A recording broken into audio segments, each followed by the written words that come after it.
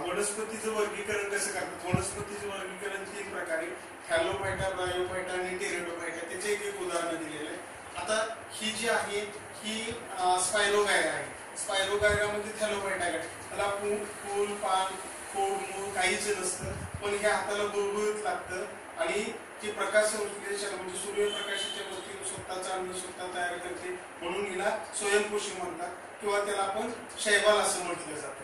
दुसरं आहे ब्रायोफायटा त्याचं उदाहरण आहे मर्केन्सिया म्हणजे मॉस जे भिंतीवर वाढलं जातं जे रिबनीच्या आकारासारखं असतं त्याला मूळ खोड पान नसतात पण पानासारखे काही भाग असतात. मुळासारखा काही भाग असतो त्याला मुलाब म्हणतात. आणि हे उभयहारी असतं म्हणजे जमिनीवर पण असतं आणि पाण्यात पण असतं. आणि तिसरं आहे ती म्हणजे नेचे ही वनस्पती. ही टेरेलोफायटा गट आहे.